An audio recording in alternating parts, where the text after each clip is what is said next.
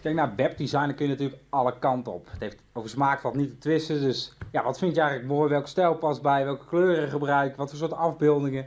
En in deze woensdag gemakdag aflevering neem ik je door door zes stappen, of eigenlijk geef ik je zes tips over het bepalen van een bepaalde stijlwebsite, het kiezen van de juiste kleuren, kiezen van complementaire kleuren, het gebruik van de juiste afbeeldingen. Om dus eigenlijk één grote sterke stijl te bepalen die ook past bij jou huisstijl die past bij je merk en uiteindelijk ook past bij de uitstraling die jij voor ogen hebt. En het liefste nog een uitstraling die dus uiteindelijk ook van bezoekers klanten gaat maken.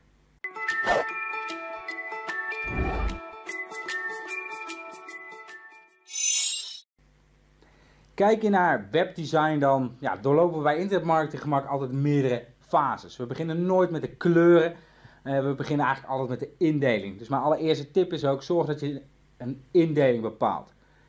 Teken eens op, met pen en papier of een potlood en papier. Gebruik eventueel verschillende kleuren als je al wel met kleuren wil werken. En denk eens na, wat moet nu waar komen te staan? Waar komt op die ene landingspagina de tekst? Waar ga je de afbeelding plaatsen? Waar komt de contactknop? Waar komt je telefoonnummer? Wil je wel social media knoppen gebruiken op die pagina? Waar plaats je ze dan? Teken eens zonder dat je überhaupt nog na gaat denken over de vormgeving, dus de kleuren en de afbeelding. Maar teken nu eerst eens de indeling. Dus bepaal een sterke indeling.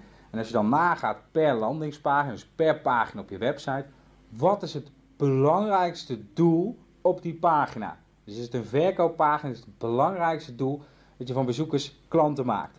Dus deel ook zo die pagina in. Welke informatie moet ik geven? Als ik deze informatie heb gegeven, wat wil ik dan dat mijn bezoeker vervolgens doet? Direct contact opnemen, zoals je dat vaak zag. Hè? Above the fold, boven de vouw moet alle call to action staan. Het kan, alleen een bezoeker heeft wel voldoende informatie nodig voordat hij overgaat tot de volgende stap. Als je op een gegeven moment de indeling enigszins hebt bepaald, dan ga je nadenken over je kleuren. Daarbij werk je allereerst met een kleurenpalet. Nou, een handige tool daarvan is, uh, voor is Colors. Bij Colors werk je eigenlijk van oké, wat voor soort kleur vind je mooi.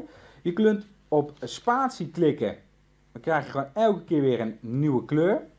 Stel dat je een bepaalde kleur mooi vindt, dus die past bij jou, dan kun je hem op, op slot klikken. Je kunt er ook voor kiezen, dus deze heb ik op slot, om dus een eigen kleur. Dus pak je kleurcode, of pik een kleur eruit. En zeg van nou oké, ik wil hem zo. Of zet eventueel hier de kleurcodes neer. Of bij deze dat je hier mee gaat spelen. Nou, door zo te spelen weet je eigenlijk zeker dat je kleuren gebruikt die goed bij elkaar passen. Als je eenmaal de kleuren hebt bepaald die goed bij elkaar passen, ga je werken met een hoofdkleur. Dus stel een hoofdkleur vast en werk dan met een complementaire kleur. Nou, een handige tool daarvoor is die van sessions.eu slash color calculator. Hier kies je de kleur die je als hoofdkleur wilt gebruiken. Dus wat is eigenlijk de kleur die je het meest op de website gaat gebruiken? Wat wordt een beetje de basiskleur? Vervolgens kies je voor de eerste optie voor complementair. En dan zie je hieronder dat eigenlijk als je blauw kiest, dat de beste complementaire kleur oranje is. Dus je weet dat als ik deze kleur als over het algemeen gebruik, dus dat die blauwe variant, dat de oranje kleur er het beste uitknalt. Nou, er zijn talloze discussies online te vinden over welke kleur jouw call to action moet hebben. Dus die grote schreeuwende knop van bel mij, neem contact op, koop direct. In mijn ogen is er geen beste kleur en moet je altijd alles testen. Alleen als je dan een eerste stap wilt maken met een call to action kleur, dus de complementaire kleur, dan kun je het beste een kleur ten overgestelde van je basiskleur, dus de complementaire kleur als je op een gegeven moment je kleurenpalet hebt bepaald, dus de, en allereerst de indeling, je kleurenpalet, dus welke kleuren passen het beste bij je website, het algemene plaatje. Kies vervolgens complementaire kleuren. Denk dan vervolgens na over de afbeeldingen. Als je de woensdag gemakkelijk afleveringen vaker bekijkt, dan heb ik talloze case studies zo met je gedeeld over het effect van afbeeldingen. En ik heb je zelfs voorbeelden laten zien waarin je in één klap je omzet kan verdubbelen met net even een andere afbeelding. Dus mocht je dit soort tips nooit meer willen missen, raad ik je aan om even op abonneren te klikken. In ieder geval, als je het vaker uh, bekijkt, dus als je vaker deze afleveringen bekijkt, dan weet je wat het effect is van afbeeldingen. Zorg dat jouw afbeelding die je gebruikt, of dat je nu met iconen werkt, uh, animatieafbeeldingen, uh, dus ja, met computergemaakte, met cartoons of echte mensen gebruikt, zorg dat je een bepaalde boodschap uitstraalt en het liefst ook nog een bepaalde emotie.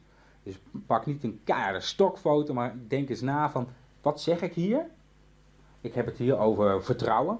En denk dan eens na van, oké, wat voor soort plaatje kan ik gebruiken die het meest betrouwen overkomt. Waarbij ik dus echt de vertrouwen schep.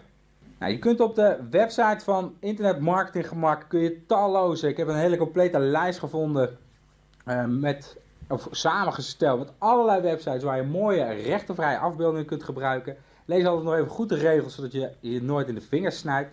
Dit is nu voor onze top 3, Pexels, Unsplash, Pixabay. En mocht je daar nog niet genoeg aan hebben, dan heb ik nog 37 andere alternatieven voor je. Dus ik raad je aan, mocht je vaker afbeeldingen willen gebruiken, neem even een kijkje op imgemak.nl slash gratis rechtenvrij afbeeldingen. Dan kom je op de complete verzameling terecht. Als je dan op een gegeven moment naar de indeling gaat kijken, dan is het krachtigste wat je kunt toevoegen in je webdesign, dus op het design van je pagina's, witregels. Ik laat door de witregels, zowel daarboven als daaronder, laat ik de afbeelding eruit knallen. En hier is heel duidelijk onze boodschap.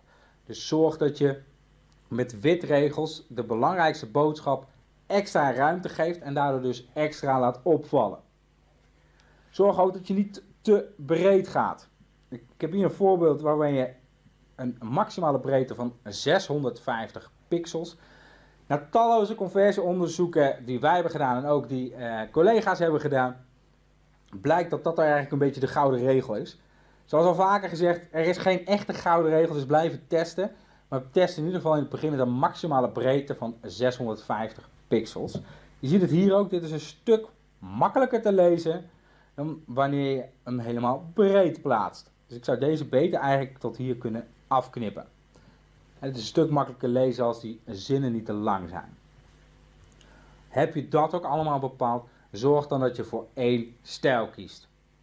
Als ik in de stad loop en ik zie van deze rood met iets met wit. En dat blijkt een Albert Heijn te zijn, ben ik mijn brandbelofte kwijt. Albert Heijn was toch altijd blauw met wit.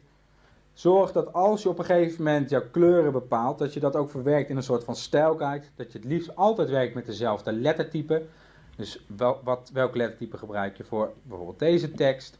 Welk lettertype gebruik je voor subkoppen? En welk lettertype gebruik je voor hoofdkoppen? Zorg dat je dat verwerkt in een stijlguide en dat je daar ook aan gaat houden.